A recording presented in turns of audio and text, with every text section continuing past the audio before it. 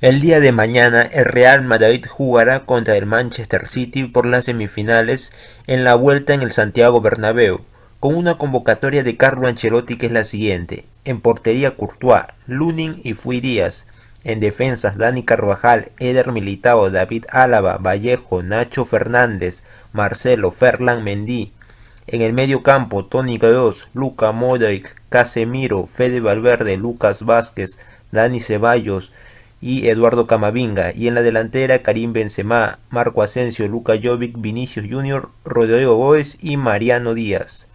Bueno, podemos destacar que David Álava está convocado, sobre todo era la baja más sensible y lo acaba de confirmar también Carlo Ancelotti en rueda de prensa.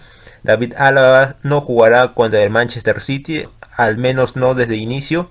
Es una baja muy sensible ya que hemos contado con David Álava toda la temporada junto a Eder Militao en una defensa muy completa, muy sólida y siendo una de las mejores ¿no? de la liga y quizás del mundo. Entonces esto es una enorme baja como digo y de todas maneras tenemos a un Nacho que es un suplente de garantías pero obviamente vemos cómo viene el City y hubiera sido muy conveniente aprovechar el talento y la experiencia que tiene David Álava, ¿no?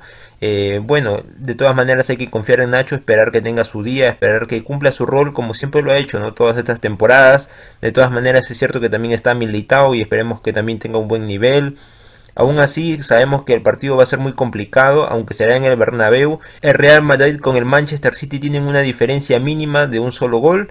Ya vimos en el primer partido, así que en este partido el Madrid tiene que salir con toda la ofensiva desde el minuto 1. Es cierto que Manchester City dudo mucho que juegue como en el partido de, ida porque estuvieron de locales, de todas maneras buscaron la victoria eh, y definir la eliminatoria aunque no pudieron, ¿no? Aún así, eh, el Real Madrid supo, a pesar de jugar mal, ¿no? supo aprovechar las oportunidades que tuvo en el partido de ida y esperemos que ahora en el partido de vuelta lo haga y mucho mejor a nivel de juego. Esperemos que Ancelotti saque una alineación que quizás la alineación que sacó en el partido de ida tenía que haberla sacado en el partido de vuelta y en el partido de ida tenía, tenía, que haber puesto un poco más rocoso quizás el medio campo porque sabíamos cómo iba a venir Manchester City y aún así en el partido de vuelta también lo va a hacer, ¿no? Sabemos que ellos juegan de memoria, su estilo de juego sabemos que es el estilo de posesión, va a ser un partido como digo difícil porque vienen goleando en su liga y aún así sabemos que es la mejor liga del mundo, la Premier League. Carlo Ancelotti espero que saque una alineación que sea muy conveniente, no tanto ofensivamente como defensivamente. Ya sabemos que no tenemos a Álava, pero bueno, la alineación que yo creo que sacará Ancelotti para el día de mañana es Courtois en portería, eh, Dani Carvajal lateral derecho, Ferland Mendy lateral izquierdo, Eder Militao con Nacho Fernández en la, en la saga defensiva y en el medio campo para mí saldrá Tony Kroos, Luca Modric, ahora sí con Casemiro que podrá jugar y también Fede Valverde. Para mí jugará Fede Valverde y Vinicius y Benzema la delantera. Y bueno, para mí en el segundo tiempo quizás eh, entre Rodrigo o Eduardo Camavinga, dependiendo cómo esté el partido, ¿no? Aunque el partido creo que va a ser muy ofensivo de ambas partes, pero de todas maneras es un estilo de juego diferente de cada uno.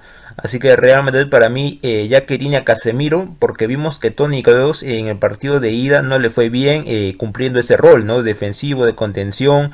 O sea, necesitamos a Casemiro y esta vez eh, va a estar ahí. Ya no, los jugadores del Manchester City ya no van a pasar con tal facilidad, ¿no? Por el carril del medio. O sea que en ese aspecto estamos bien. Y bueno, en lo demás eh, esperemos que Fede Valverde pueda destacar un poco más. Es cierto en el, que en el partido de ida no le fue tan bien. Y bueno, la delantera es cierto cómo nos dominó el City, pero esta vez creo que nos irá mejor, ¿no? Por lo mismo que se ha recuperado Casemiro, que es una pieza muy importante, aunque a veces no parezca tanto, es una pieza importantísima en el esquema.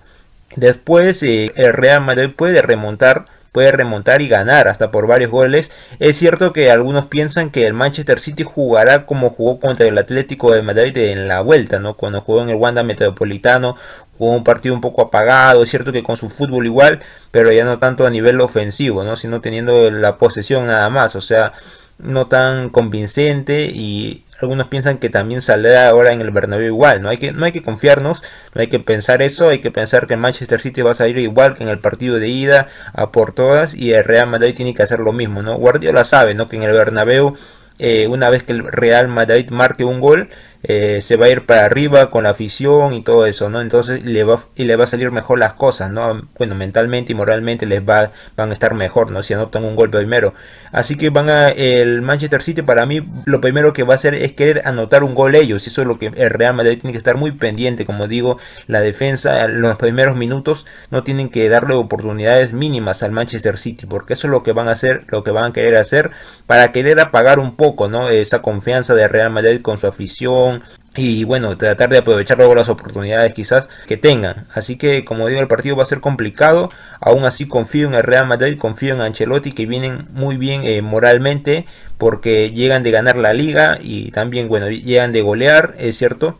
Así que de todas maneras los jugadores con experiencia, algunos han tenido descanso y bueno, se viene una gran eliminatoria de todas maneras. Esperemos que Real Madrid pueda llegar a la final para que pueda ganar otra Champions League, la Champions League 14, ¿no? Cada vez sumando más títulos el Real Madrid, también para Carlo Ancelotti, que sería su cuarta Champions, sería el entrenador con más Champions, ¿no? Ya que los jugadores de Real Madrid se están volviendo leyendas en esta competición, ya lo son y se están volviendo aún más, ¿no? Esperemos que, bueno, sobre todo eliminemos a Guardiola, porque imagínense si hubiera, nos hubiera tocado un Liverpool, claro que nos hubiera importado si, nos eliminan, pero de todas maneras eh, es peor que nos elimine Guardiola, ¿no? Porque sabemos que todo el Barcelona eh, estará apoyándolo, todos los hinchas de Barcelona estarán ahí, que quieren que Guardiola elimine al Madrid, así que como digo no hay que permitir eso, el Real Madrid tiene que mentalizarse para ese partido, no pueden estar fallando oportunidades claras. Y esperemos que sobre todo Karim Benzema y un Vinicius Junior estén muy acertados para que puedan, eh, si es posible, golear, ¿no? Aprovechar las oportunidades como lo hicieron en el partido de ida, ¿no? Que a pesar de, que se jugó mal, eh, pudieron eh, anotar buenos goles, de todas maneras, como digo, el equipo llega en confianza, con la moral alto y eso es lo más beneficioso, ¿no? Y sobre todo con una afición que estoy seguro que apoyará hasta el último minuto.